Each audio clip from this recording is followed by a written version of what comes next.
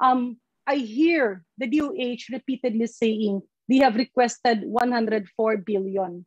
However, understanding the nuances of uh, appropriations and budgetary requirements, at this point of time, baka hindi siya ganun kadaling hanapin. Are you ready with a list of projects or list of line items that you can realign and instead put it for the procurement of vaccines under 2022 as a line item budget.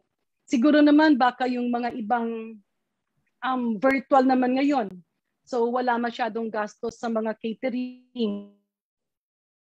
Wala masyadong wala masyadong gastos sa travels. Like the Butika ng Bayan, um, many many generic pharmacies are already operating there and it's it's an income generating ever of LGUs. Maybe we can shift that to vaccines for the meantime and have the Butika ng Bayan funded under an program fund. And what other programs do you have, Honorable Secretary, that the DOH family, kunyari, sabihin ng DOF, DBM, wala kami mapagkunang pera eh.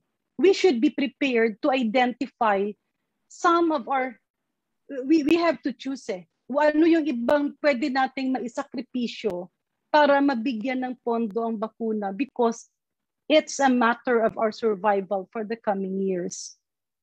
Do, do we have that list, um, Honorable Secretary?